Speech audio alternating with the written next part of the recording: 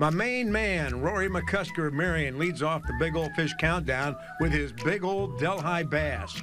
Will Hogan of Colorado reeled in this huge catfish at his uncle's pond in Solon.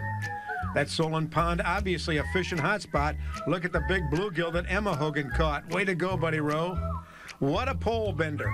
Congrats to Grayson and Oakland Whittle on their first bass from Grandpa and Grandma Hoshield's farm pond.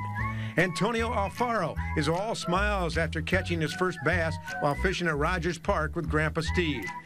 And taking us home is Brad Dvorak, who is crappie fishing with a four-pound test at Pleasant Creek. And Beth, that's no crappie.